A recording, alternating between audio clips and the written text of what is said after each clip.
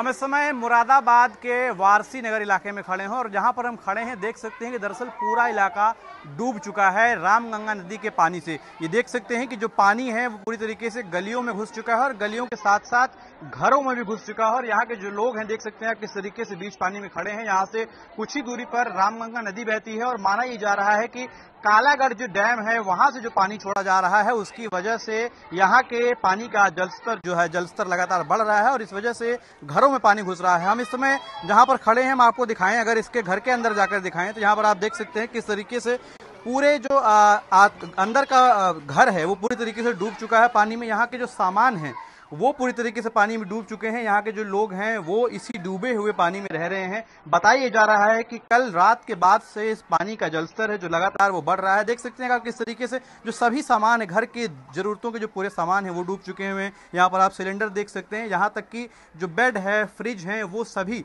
पानी में डूबे हुए हैं। देख सकते हैं कि यहाँ पर जो खाना बनाने का सामान है, वो पानी में डूब चुका है। ऐसे में इस बात का अंदाज़ा लगा सकते हैं कि यहाँ के हालात कैसे होंगे और किन हालात में ये लोग यहाँ पर रह रहे हैं। हम यहाँ पर इस घर में रहने वाले लोगों से बात करते हैं। ये बताइए ये पानी का जो जलस्तर है जो बढ़ा है तो ये सामान वगैरह आप निकालने में दिक्कत हो रही है? क्या करेंगे इसके निकालने में बहुत दिक्कत हो रही है। कोई यहाँ से प्रशासन की कोई मदद नहीं है। किसी की भी 2010 में भी बाढ़ आई थी कोई यहाँ सहयोग नहीं करता कोई सरकार सहयोग नहीं करती। सब धोखा है झूठ है इसके अलावा कुछ ये बताइए ये जो पानी का जलस्तर लगातार बढ़ रहा है निचला इलाका है ये पानी का जो जलस्तर लगातार बढ़ रहा है तो ऐसे में आप आप लोग क्या करेंगे? क्योंकि पानी तो दिन ब दिन बढ़ता आ रहा है यहाँ पे। पानी बढ़ रहा है अब क्या करेंगे? कहीं ना कहीं तो जाएँगे अब मजबूरी है। सामान भी सब डूब रहा है घर का सब बच्चे भी परेशान हो रहे हैं तो और क्या प्रशासन की तरफ़ से आप लोगों को यहाँ से हटने के लिए कहा गया अभी? कोई अभी प्रशासन ने कोई अभी अनाउंसमेंट नहीं करा है किसी तरीके की कोई सूचना नहीं दी है किसी भी प्रकार की। और सब लोग यहाँ पर बस एक दूसरे की हेल्प कर रहे हैं एक दूसरे की मदद से ही सहयोग से समझ लीजिए कि सामान उठा रहे हैं बिठा रहे हैं बेचारे। अच्छा।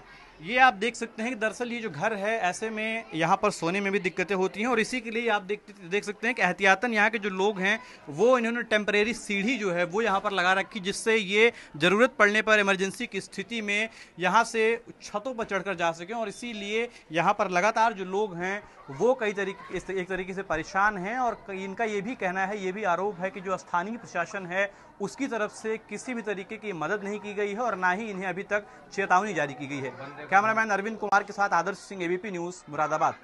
ये है एबीपी न्यूज़ आपको रखे आगे।